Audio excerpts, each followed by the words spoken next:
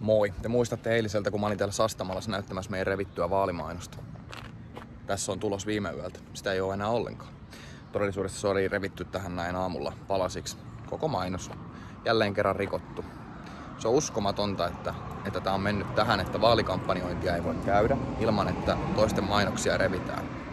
Se pelko, mikä perussuomalaisia kohtaan tällä hetkellä vallitsee ympäri Suomea, on jo ylittänyt niin kuin kaiken semmoisen hyväksyttävyyden ja järjellisyyden rajat se, että me ei voida Suomessa kampanjoida ilman, että meidän mainokset revitään ja poistetaan. Kuten niin kuin kaikkien muiden mainokset saa yhä olla täällä, mutta perussuomalaisten ei. Tää on uskomatonta. Tässä sen pitäisi suunnilleen olla jommas kummas näistä, mutta en muista ulkoa. Mutta joka tapauksessa pitäisi olla tässä.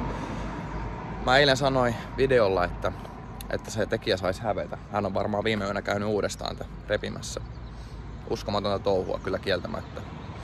Perussuomalaiset puolustaa Suomea ja pyrkii muuttamaan Suomea siihen suuntaan, että meillä olisi täällä paremmin asiat. Esimerkiksi me ollaan täysin eri mieltä EU-kysymyksistä, millä tavalla me halutaan, että meidän päätäntävalta pysyy täällä kotimaassa, ettei me lähdetä siirtämään sitä asteittain kohti liittovaltio- tai unionin rakenteita, kuten se tällä hetkellä jo monelta osin on. Iso osa lainsäädännöstä tulee Euroopan unionista. Ja me ei haluta sitä. Me halutaan, että Suomella on itse päätäntävalta ja suvereniteetti omiin lainsäädännöllisiin asioihin. Koska ne päätökset, mitä Euroopan unionissa tehdään, koskettaa myös meitä. Ilmastonmuutoksessa me katsotaan, että meidän pitää tehdä sellaisia toimia, joilla on oikeasti merkitystä. Eikä niin, että me vaan huudetaan, että nyt on ilmastohätätila ja lyödään rahat. Kaikki vaan menee, veronmaksajien rahat, kaiken näköisiin toimiin. Rakennetaan satojen raitiot ja hankkeita. Vailla niin kuin minkäännäköistä taloudellista järjellistä toimeen. Varsinkin kun meidän resurssit on rajalliset. Niin, et, et, tämä on se, mistä meitä syytetään. Et me halutaan, että suomalaista teollisuutta ja suomalaisten tavallaan niin kuin kykyä elää täällä, ajaa autoilla, niin puolustetaan. Tästäkin tulee kovaa hyökkäystä maahanmuuttolinjassa meitä vääristellään jatkuvasti. Kun me puhutaan siitä, että me halutaan tietyt pelisäännöt maahanmuutolle, puhutaan esimerkiksi humanitaarista maahanmuutosta. Jos me katsotaan, että se ei ole toi niin nykyisen kaltainen maahanmuutto, jota Suomeen tulee, niin ei ole järkevää. Jos puhutaan vaikka siitä, että me katsotaan Helsingin tilannetta tällä hetkellä ja suurten kaupunkien tilannetta.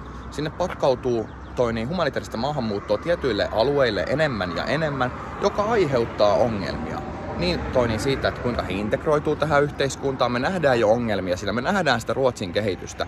Ja me ollaan sanottu, että jos tämä vauhti jatkuu, niin se on ennemmin tai myöhemmin se Ruotsin kehitys myös edessä täällä seuraavan kymmenen vuoden aikana tai jotain, mutta se on joka tapauksessa tulos tänne. Ja sitten me katsotaan, että jos puhutaan näistä ihmisten auttamisesta, esimerkiksi näistä humanitaaristen maahanmuuttajien osalta, on paljon fiksumpaa auttaa niitä ihmisiä siellä paikan päällä, kuin roudata niitä tänne Suomeen. Ensinnäkin, jos ajatellaan islamia ja tällaista länsimaalaista arvopohjamaailmaa, se on hyvin vaikeasti yhteensovitettavissa. Meidän näkemykset, niin kuin islamin ja länsimaalaisen yhteiskunnan näkemykset poikkeaa toisistaan hyvin radikaalisti. Se poikkeaa niin radikaalisti, että siellä esimerkiksi naisen arvo on, on jotain aivan käsittämätöntä. Siinä naisella ei käytännössä ole arvoa. Me vastustetaan pakkohunnutusta, me vastustetaan kaikkea sitä, mitä islam edustaa ja tästäkin meitä syytetään, että me ollaan rasisteja. Tämä on ihan uskomatonta ja sen takia meitä, niin kuin, meidän kimppu hyökätään, että me ollaan fasisteja ja joku tota noin, niin, toisen maailmansodan Hitlerin uusi tulema. Tämä on ihan käsittämätön linja. Näinhän ei todellisuudessa ole. Kysymys on vaan siitä, että minkälaista maahanmuuttopolitiikkaa me halutaan tehdä ihonvärillä ja muilla ei ole mitään merkitystä sen kannalta. Meillä on ohjelmat, joissa mainitaan samat pelisäännöt kaikille ja tämä on iso ongelma monille muille. Sitten me ollaan vuosikaupalla saatu muilta puolueilta kuulla syytöksiä siitä, kuinka me olemme rasisteja, kuinka me olemme fasisteja, kuinka me olemme natseja.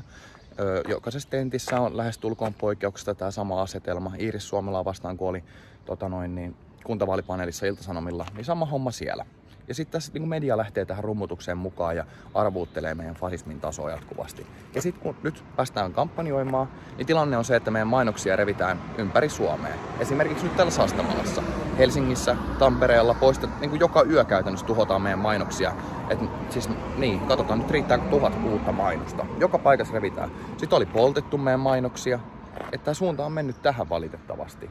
Et nyt me saadaan maistaa sitä tavallaan kun meidän kimppuu hyökätään jatkuvasti, meistä esitetään perättömiä väitteitä ja valheita, niin tässä on se lopputulos.